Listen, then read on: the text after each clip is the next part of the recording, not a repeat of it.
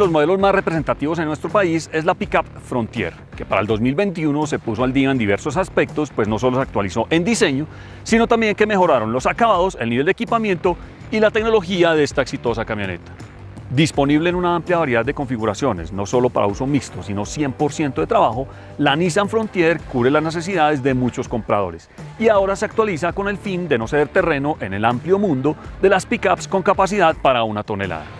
Bienvenidos a Autos de Primera, mi nombre es César Arboleda y a continuación los invito a ver la prueba reseña de la nueva Nissan Frontier en su versión Pro 4X, la más equipada de todas, que claramente tiene un enfoque mucho más off-road y agresivo.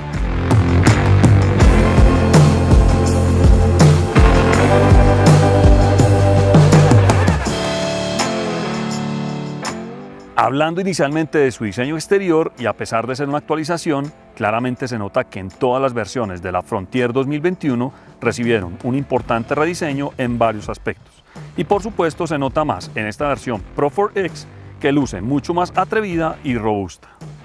En el frente esta versión impacta por la gran parrilla en color gris grafito y por el emblema de Nissan negro con letras rojas en la mitad, además por la palabra Frontier en la parte superior. Y por supuesto llama la atención las nuevas luces con cuatro proyectores para las altas y bajas y las DRL o luz día en forma de C que también son en LED, además de las exploradoras y este aplica en color rojo en la parte baja del bumper. Vista de lado es muy parecida al modelo que ya conocíamos ya que conserva su figura, pues este es un facelift, destacándose algunos detalles como por ejemplo el diseño en la parte de atrás de la ventana y en esta versión se marcan mucho los pasos de rueda con ese detalle en color rojo los retrovisores, las barras de techo y las manijas son en color negro brillante. Además cuenta con unos rines de 17 pulgadas en color negro brillante con llantas AT All Terrain en medidas 255-65 que la hacen ver más imponente y con estribos que en este caso no los tenemos para tener un mejor desempeño off-road para nuestra prueba. Y para darle un mayor toque de exclusividad a esta versión Pro 4X trae un gran sticker en el platón.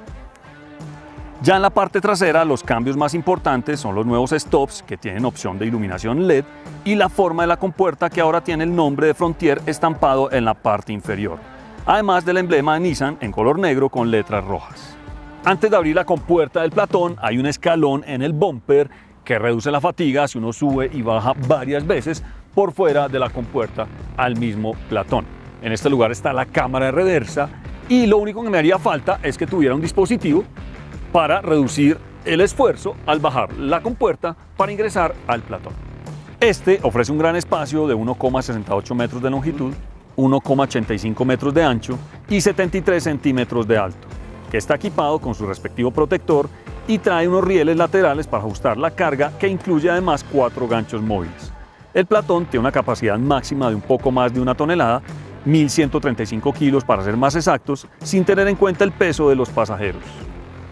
Debo resaltar que uno de los grandes atributos que conserva la Frontier es su chasis de escalera en acero de alta resistencia con forma de doble C, el cual ofrece una mayor durabilidad y rigidez durante el uso extremo. Sobre este, la marca fabricó una carrocería que mide 5,25 metros de largo, 1,87 metros de ancho y 1,85 metros de alto, con una distancia entre ejes de 3,15 metros. En este punto es importante mencionar sus cotas off-road, pues ofrece una distancia con respecto al piso de 22,7 centímetros, unos ángulos de ataque y de salida de 31 y 25,3 grados, respectivamente, y el ventral que es de 22,9 grados.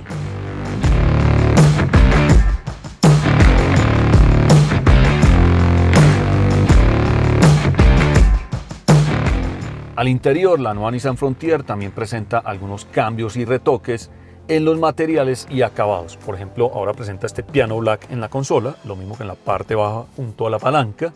Y por supuesto continúan los plásticos duros, pero de muy buena calidad de fabricación y de buena sensación al tacto, teniendo en cuenta que este es un vehículo de doble propósito.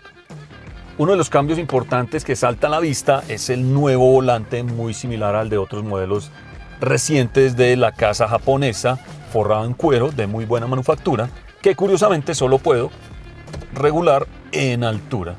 Tiene comandos para el computador de a bordo, subir y bajar el volumen y de este lado está el control de crucero. Y algo bien llamativo es que tiene el emblema negro de Nissan con las letras rojas en la mitad. Al frente resalta un gran computador a bordo con asistencias avanzadas de manejo de 7 pulgadas, similar al del Nissan Altima que ya tuve el privilegio de probar y que los invito a ver en el video que aparece en el enlace superior de la pantalla. Aquí encontramos toda la información relacionada con la conducción y las ayudas de manejo que más adelante les contaré, el cual se combina con dos medidores análogos en los lados. Pasando a la consola central, la nueva Nissan Frontier equipa un sistema multimedia con una pantalla táctil de 8 pulgadas que tiene conectividad con Apple CarPlay y Android Auto. Algo que me gusta mucho es que combina con botones en el exterior. Por ejemplo, de este lado está el menú, mapas, apagar o encender, subir el volumen y de este lado está la cámara o buscar una emisora. Una función importante que trae esta versión es que en la pantalla central podemos ver el monitor de visión periférica, el cual permite una visión de 360 grados de todo el entorno del carro, el cual facilita las maniobras de parqueo, conducir en sitios muy estrechos o sirve para maniobras 4x4 que más adelante les voy a mostrar. Más abajo está el aire acondicionado automático de doble zona y en este lugar, en un fácil acceso, está la perilla para el accionamiento del 4x4. 2H, 4H y 4 low. Más adelante les voy a explicar cómo funciona esta parte. El botón para el bloqueo diferencial trasero, el control de descenso y el botón para desactivar los sensores de parqueo. Además de una toma de 12 voltios, un espacio donde poner algunas cosas y una toma USB con un puerto auxiliar. La palanca de cambios es muy estilizada y trae este acabado cromado que le da un toque de elegancia a este carro. El freno de mano es manual. Aquí hay tres espacios libres que seguramente otras versiones tienen otras funciones, dos lugares donde poner botellas, una pequeña guantera donde poner algunas cosas como por ejemplo el celular es acolchada, ahí tenemos dos puertos USB, uno tipo C, uno normal y una toma de 12 voltios. Además de esta bandeja en la parte de arriba donde también hay otra toma de 12 voltios. La llave es esta pequeña tradicional de todos los modelos recientes de Nissan y algo que me ha gustado mucho es la cojinería en cuero de esta versión que trae costuras blancas con rojas, se ajustan manualmente para tener una muy buena posición de manejo. Y tiene un detalle especial que es este emblema de Pro X en la parte del espaldar. Y para complementar el equipamiento, esta versión que es la más aventurera disponible en nuestro país incluye elevavidrios eléctricos, el del conductor es de un solo toque, los espejos retrovisores son de ajuste eléctrico, y se pueden plegar automáticamente. Incluye además sensor de lluvia, sensor de encendido y apagado automático de las luces y el sistema de sonido incluye cuatro parlantes y dos tweeters entre otros elementos.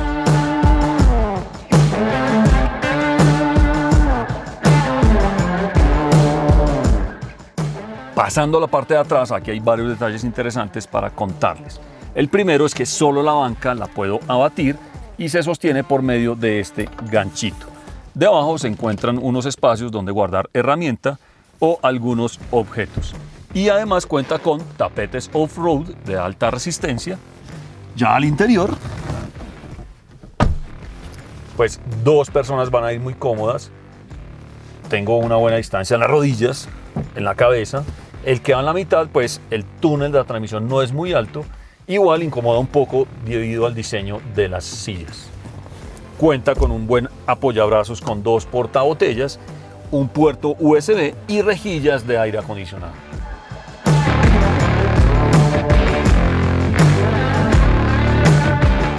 En términos de seguridad, esta pickup se convierte en una de las mejores propuestas de su segmento, pues no solo cuenta con 6 airbags, frenos ABS con EBD, controles de estabilidad y tracción, anclajes ISOFIX y asistente de arranque en pendientes, sino que además incluye las ayudas de manejo avanzadas Nissan Intelligent Mobility, algo que tienen pocos rivales en su categoría. Este paquete de alta tecnología contempla alerta de colisión frontal, frenado autónomo de emergencia, alerta de punto ciego, cambio automático de luces altas a bajas, alerta de tráfico cruzado en reversa, la advertencia por abandono de carril y la alerta de atención al conductor. Además de todas estas ayudas a la conducción, trae botón de encendido, la llave es inteligente y vale la pena recordar que bajo el antiguo protocolo de Latin NCAP, esta pickup registró 4 estrellas en seguridad. Debemos esperar si a esta actualización le van a hacer nuevamente las pruebas de choque.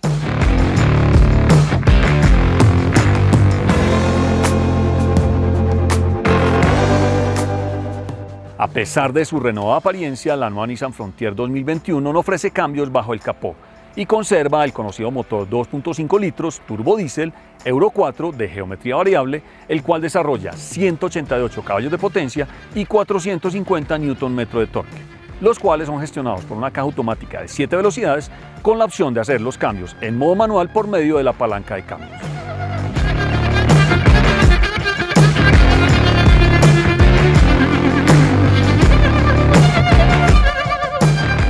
Ahora voy a comprobar su desempeño. Lo primero que voy a hacer es la aceleración. Lo pongo en drive, en tracción en dos ruedas, 2000 revoluciones.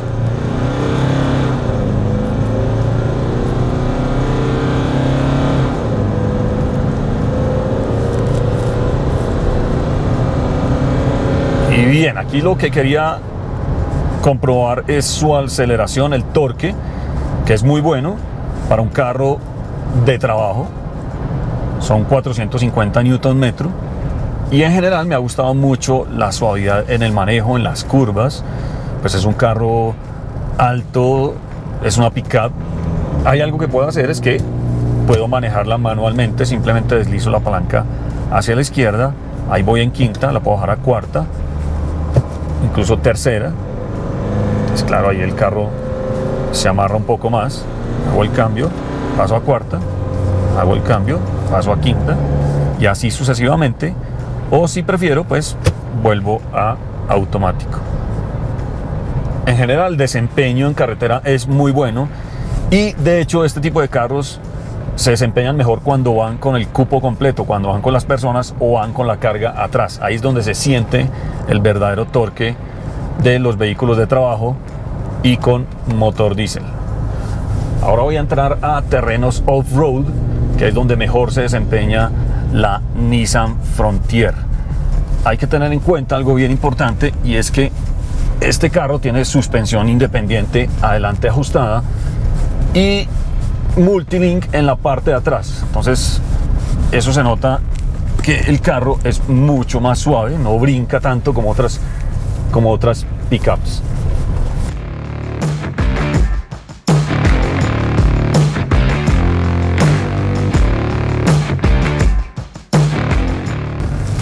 Voy a explicar cómo funciona el 4x4.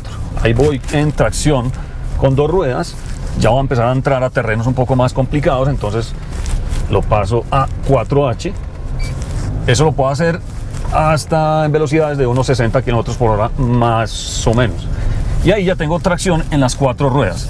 Pero si voy a entrar a terrenos un poco más complicados como este que voy a tener a continuación, entonces lo que, lo que hago es parar, poner el carro en neutro hundo la perilla y lo paso al bajo o al 4 low. Espero unos segundos, ahí ya me activa en el computador de a bordo, pongo drive y lo que hace es que el carro ya tiene una fuerza multiplicada por 4 mucho mayor para sobrepasar terrenos un poco más difíciles. Y otro punto clave en los vehículos 4x4 es el control de descenso funciona muy fácilmente. Voy a comprobarlo acá en esta pequeña bajada. Ahí estoy con el 4 eh, low. Simplemente lo activo desde esta perilla y él lo que hace es que dependiendo el sensa el peso del carro y la inclinación de la colina para bajar a una velocidad determinada. Entonces ahí voy muy despacio. Él va aplicando automáticamente los frenos porque determina que esa es la velocidad ideal para bajar este terreno. Para eso se usa el control de descenso. Incluso funciona hasta velocidades de 25 kilómetros por hora. Y aquí hay algo bien interesante, es que este carro viene con la cámara 360 4x4 que se activa automáticamente cuando paso a low. Ahí están viendo la cámara eh, que me muestra la parte delantera, incluso yo la puedo poner a 360 y eso es muy bueno porque eh, cuando uno está en aventura o en terrenos súper difíciles, pues me va mostrando si tengo una piedra o alguna dificultad en el camino.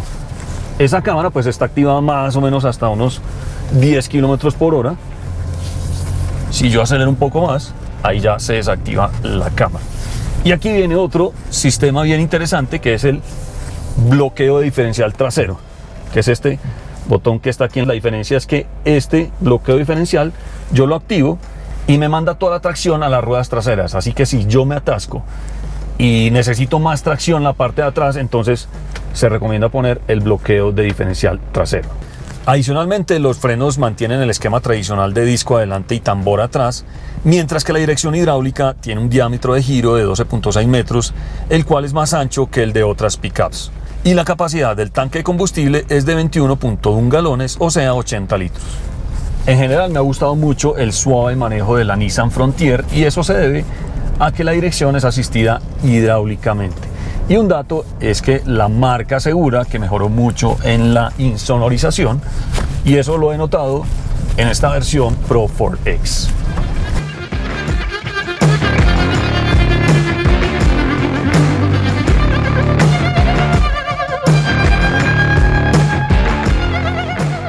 En resumidas cuentas, la nueva Nissan Frontier Pro 4X es una pickup de doble propósito y se convierte en un gran aliado para el trabajo duro o para las personas que les gusta la aventura, ya que es capaz de arrastrar hasta 3.5 toneladas con un remolque, además de ofrecer un elevado confort y buena capacidad de carga, junto con unas cualidades todoterreno adicionales, además de un llamativo diseño exterior.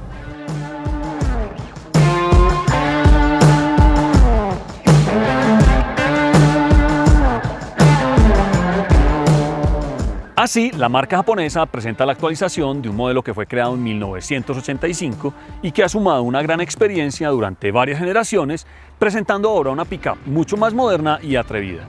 Una camioneta que su éxito también se basa porque se ofrece en diferentes variantes, como por ejemplo chasis, cabina sencilla, doble cabina, 4x2, 4x4 e incluso motores a gasolina o diésel. Los precios estarán entre 80 millones 990 mil pesos y 164 millones 990 mil pesos en esta versión Pro 4X que tuve a prueba. ¿Qué les parece? ¿Les gustó la actualización de la Nissan Frontier y más en esta versión Pro 4X? Déjanos tus preguntas o comentarios al finalizar el video. Y como siempre, no olviden suscribirse a nuestro canal y compartir nuestros contenidos para seguir haciendo videos como este. Nos vemos en un próximo video.